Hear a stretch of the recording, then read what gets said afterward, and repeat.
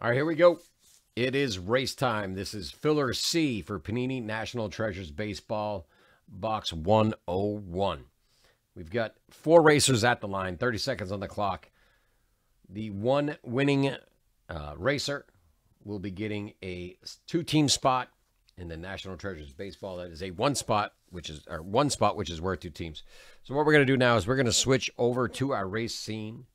We're going to shuffle up our racers seven times, and we're going to see who that winner is. And once I find my cursor, there it is. I can do the rest. There we go. Let's shuffle them up seven times. One, two, three, four, five, six, and seven. And they are off. Good luck, all. One winner here. One winner getting the uh, spot in National Treasures.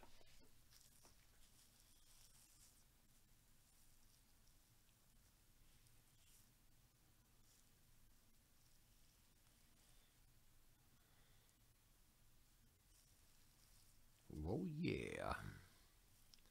Down to five, four, three, two, one. Who's going to be our winner? Shannon R. You are in for National Treasures. Thank you. Uh, all congratulations, Shannon R. We will see you in that break.